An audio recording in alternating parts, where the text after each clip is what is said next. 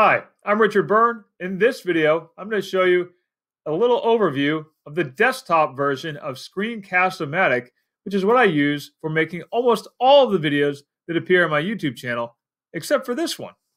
So let's go ahead and get started. You'll see down there I have the little Screencast-O-Matic icon. I use a desktop client, and I can go in here and hit my record button and then that panel drops out of the way. And I have the option to record my screen, record just my webcam, or record with both my screen and my webcam. In this case, I'm just going to record my screen.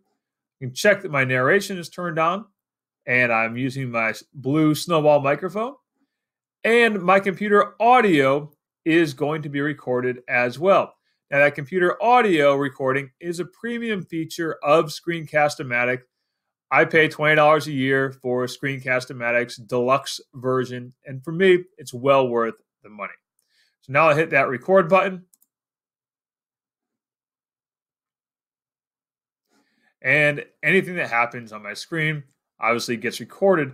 And as I move my cursor around, then the cursor is highlighted in yellow. Now I can change that color if I want, but I like the default yellow color. So I just leave it as is.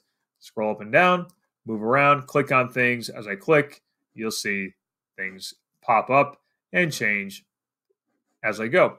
Now, when I'm done, I can go back down here, hit that stop button. If I need to draw or zoom on anything, I can do that there. But I'm done. You can see there, I can save and upload. I can do a quick share to send it directly to YouTube or to Google Classroom or to Facebook if I wanted to. But I'm going to use the edit video.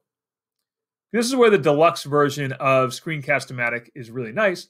I can now go in and do things like adjust the volume of the recording. So I can play around with that.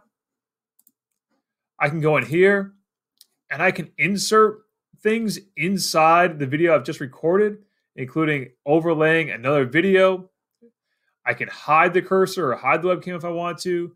But the thing that I like most is I can add in additional overlays, including doing things like blurring out a part of it. Maybe I want to blur my face out of it for some reason. I can blur that right out. Click OK, and away we go. Now, if I want to do just a real basic recording or edit, I can go and trim the beginning of this trim the end of it, and call it good.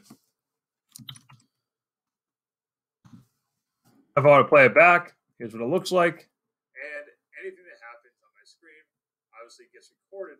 And as I move, so I'm happy with my sample recording. Hit that save button. And now it's saved right on my desktop.